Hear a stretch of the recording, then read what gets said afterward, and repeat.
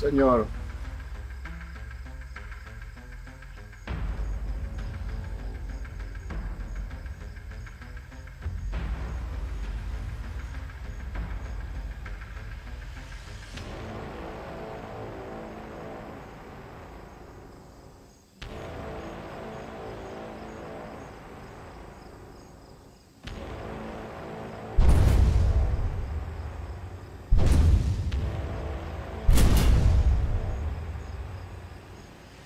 Salamat at uh,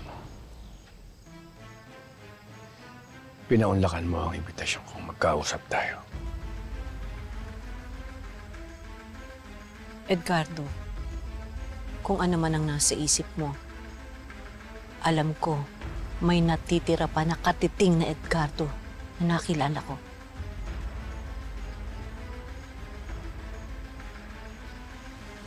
Anong kailangan mo sa akin?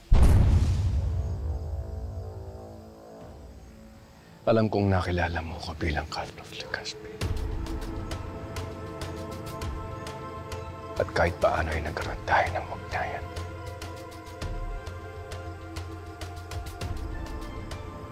Gusto ko lang sanang intindihin mo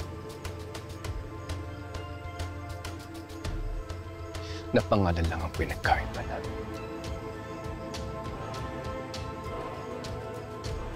Ako pa rin yun, Elias.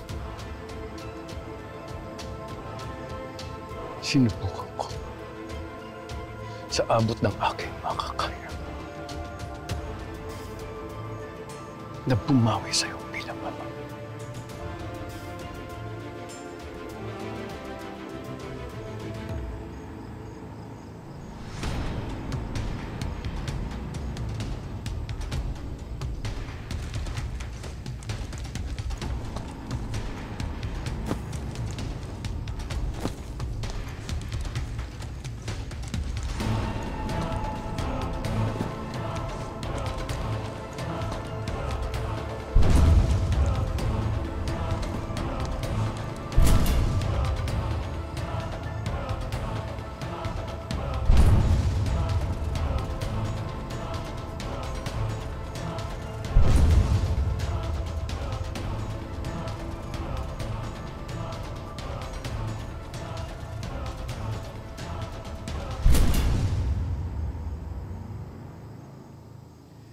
At ngayon nandito ka para ituloy ang pagbawi niya.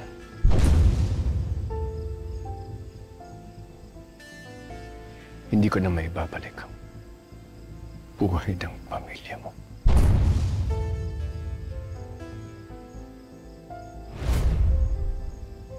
Pero maaari ko kayong bigyan ng magandang buhay, magandang kinabukasan ni Alma.